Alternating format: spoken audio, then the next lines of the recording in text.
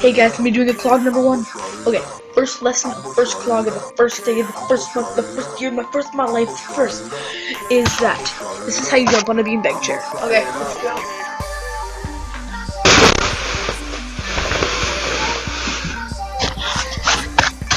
Hope you guys enjoy this number one clog. Yeah. Toxic fish out.